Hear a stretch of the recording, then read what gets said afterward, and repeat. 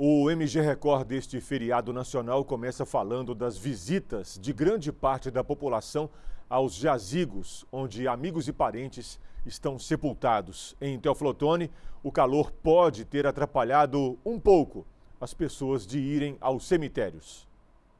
O sol forte e o tempo abafado marcaram as primeiras horas de visitação nos cemitérios em Teoflotone. E para manter a tradição vale qualquer esforço.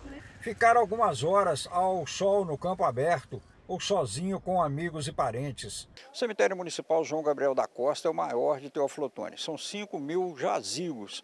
E em função do forte calor no dia de finados, a administração do cemitério tomou a atitude de manter a equipe de plantão até o final de semana como forma de facilitar e dar suporte às pessoas que vierem a visitar a unidade, mesmo depois do dia de finados. Benedito veio sozinho. Após prestar homenagens aos parentes que já partiram, ele estendeu o ato aos amigos. Eu venho todo ano aqui visitar meu pai, minha mãe, e daqui eu vou para o Vale das Flores visitar o Padre Pinheiro, que foi um grande herói meu nesse santo dia abençoado. Mesmo com tanto calor? Com tanto calor, eu estarei lá.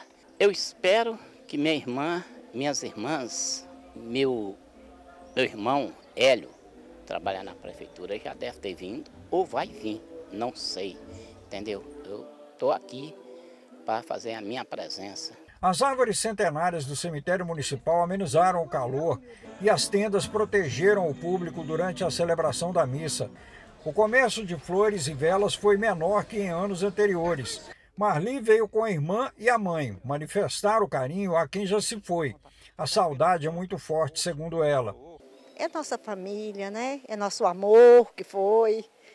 E assim é uma questão também de respeito, né, a esse dia, que é importante. Pra, né, nós todos vamos estar passando por esse momento. Então, visitar, né, nesse momento, eu acho, sim, muito importante. E aí vem a família também? Vem a família, né, minha mãe, minha irmã, cunhado, todo mundo, né? Então, vem ver os entes queridos, né? Meu marido que já foi embora, um meu momento pai. de apoio também. Um momento de apoio, né? Uns, uns apoiando uns nos outros, né?